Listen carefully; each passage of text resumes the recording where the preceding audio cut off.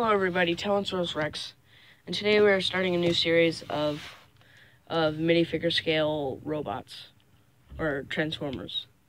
But basically, today I made a dune buggy. Now I already have two more minifigure scale um, transformers coming. These are all Autobots for now. I don't have any ideas for Decepticons. If you guys really wanted it to, down in the comments you can decide if this wants if you want this to be a Decepticon or an Autobot. But basically today you uh, will be, be able to decide the name for it. Now basically um, basically today uh, I made this dune buggy like thing out of this set here Lego Technic race truck but the reason why I didn't build the original set is because the race truck uh, set it's a two-in-one. Back here it has a, a race car and a race truck. I wanted to build the race car, but it only came with one instruction thing.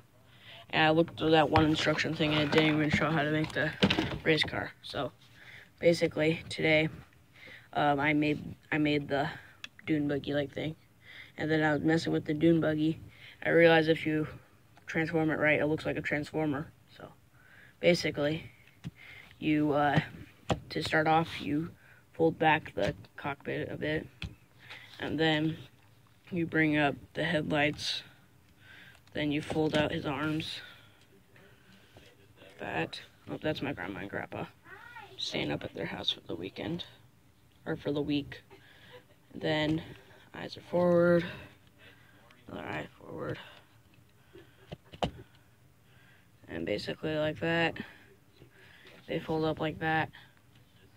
Uh, and they fold up the rest of the body like this. Now, you have him like this. Now, I haven't decided what to call this guy. So you guys can name him down in the comments. And once you do, I'll decide the winner, and I'll tell you guys next episode. Like I said, I have two more review. I have two more builds coming, so I'll tell you guys on those videos if we decided yet.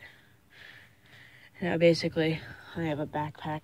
He has a backpack on, and here's his head, eyes, and sort of a mouth, an insectoid mouth-like thing. So he could be a Decepticon if you guys really wanted to. Uh, but he has uh, gun arms, so that's pretty cool. But he's pretty fast because he has wheel legs, kind of like Sideswipe. But um, that's about it. I'll see you guys. This is Talonsaurus Rex. Um, basically, if you guys want to name this guy, just think of some names down in the comments. I'll choose the winner. And also decide, decide if he's going to be the bad guys, which is the Decepticons, or the good guys, the Autobots. See you guys, this is Talonsaurus Rex, and I am out.